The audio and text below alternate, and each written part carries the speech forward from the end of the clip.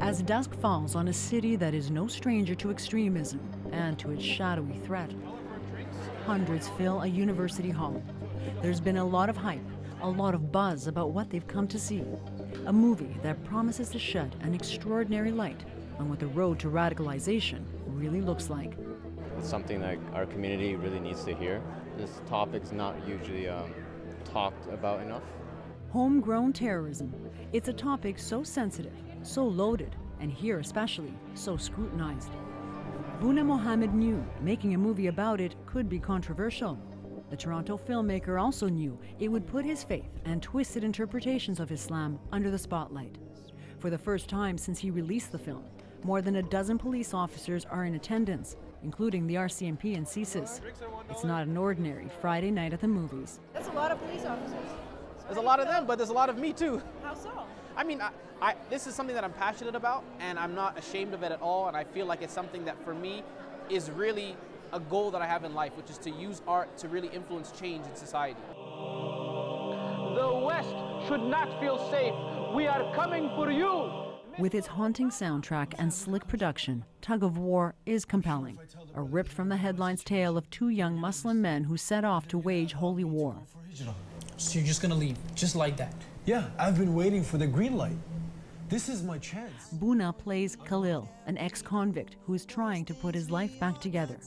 But his family rejects him. Bah. Enough.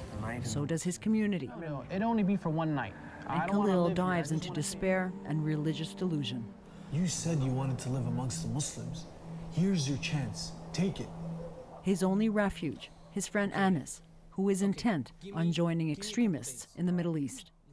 These people are misled, they're misguided. A lot of them are vulnerable. A lot of them feel like they're on the fringe of society. They don't have proper support. Their families may not be there for them. Some of them are coming out of, you know, drug or alcohol abuse or even prison. And so trying to put those issues in the forefront and explain to people that there are things that we can do along the way to help prevent issues like this in the future, I think is something that's very positive. If he don't love Allah, his love will always be flawed. An award winning oh, poet and self styled Islamic preacher, Allah is testing everyone Boonaa often relies on hip hop to spread the word about his faith. But he says he was inspired to delve into a darker side too, to enlighten and prevent young Muslims from losing their way. truly we have all we know that it does affect our community and we should be proactive. The reality is the repercussions are very large and we as a community can't ignore it any longer. The whole thing is a little bit confusing. You know what I'm saying like, who's right, who's wrong. The film has been screened in several cities in Canada and the US already, but resonates here because it hits so close to home. A cluster of young men from Calgary left Canada to fight alongside ISIS in the last three years. And there's Damian raiding the pantry and the fridge again. One of them, Damian Clairmont, was Christianne Boudreau's son. I'm gonna call the police. Christianne says the son she knew disappeared into a vacuum of hate and is believed to be dead. She has started a program to fight radicalization by talking about it.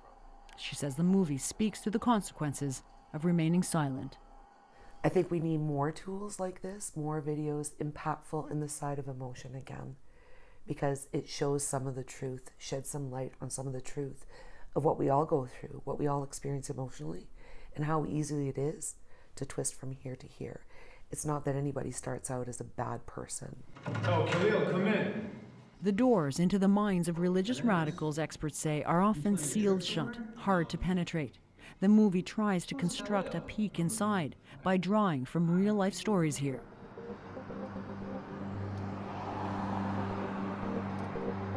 The Calgary group all attended this street front mosque and lived together in apartments above. They shared two apartments, if I'm not mistaken. Sheikh That's- Naveed Aziz took over the mosque after six young men took off. But he did counsel Farah Shirdon, who he says was tied up in drugs and gangs. He says Shirdon abruptly shut him out and disappeared. This is a message to Canada and all the American Tawaghi. We are coming and we will destroy you. Shirdon resurfaced months later in this diatribe against the West. We are going for you, Barack Obama. The West should not feel safe. We are coming for you. Mr. Obama, we are coming for you. Khalil's rant in the film is eerily similar. He's run into them so many times. The character was developed with Sheikh Naveed's help. He also drew from the anti radicalization work he is now immersed in. I didn't know how to approach the subject, so rather than taking the academic route, I had to take the hands on route, interacting with these people, studying their own stories, and that's where I've learned. So now I know what to look out for and what are some of the you know, instinctual feelings I have inside that I should pay attention to when I interact with these individuals. I don't consider myself to be an extremist. One of those individuals is a young man we'll call Kaleem. Kaleem asked us to hide his identity and disguise his voice to avoid harassment. We were introduced to Kaleem at the movie screening.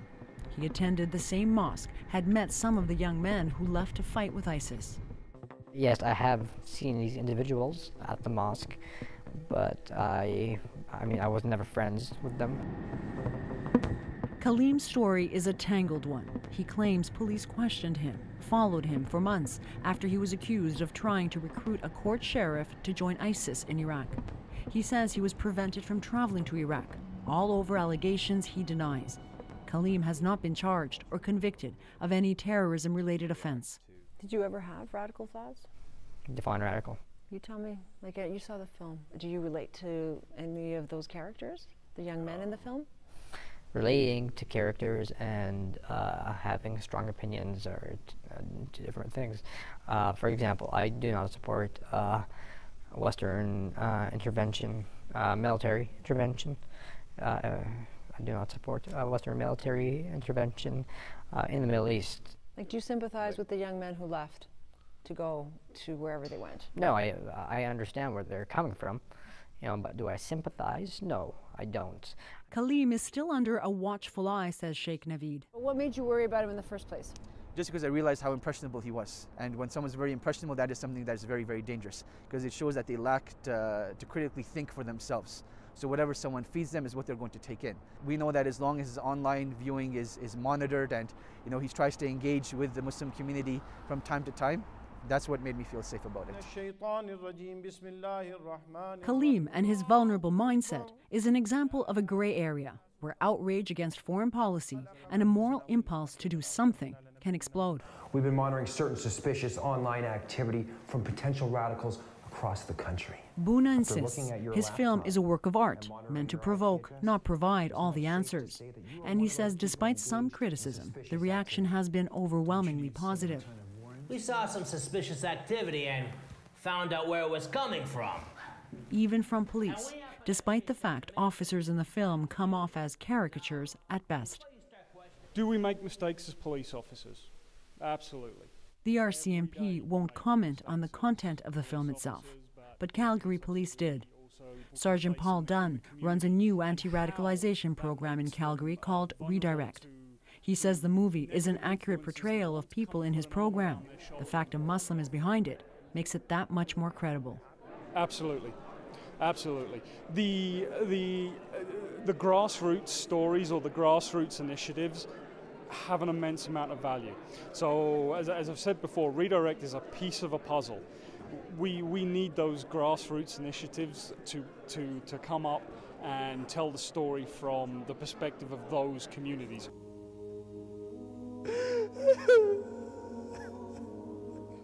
that perspective makes for a dramatic finale. Boonaa's character ends up leaving and ends up racked with guilt and remorse. Ya Allah, I don't know how I got into this mess. And then, back home, his mother learns he's dead.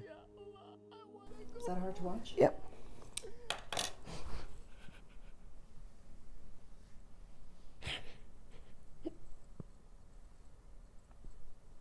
Sorry.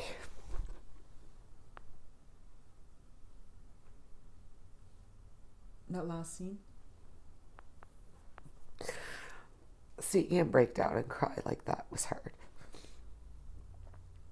Because you always wonder what's going through their heads for real compared to what's being projected when they're over there. And seeing the guilt and the damage it's done to how many people. That part.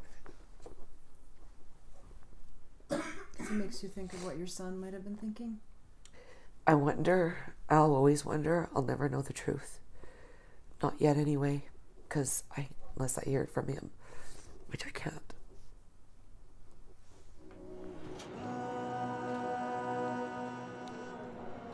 So yeah, I mean the movie went really well. I think. The truth and Boonaa's approximation of it remains elusive. Buna readily admits he doesn't have all the answers, just an intent to raise questions in the hope of finding them. Ioanna Roumeliotis, CBC News, Calgary.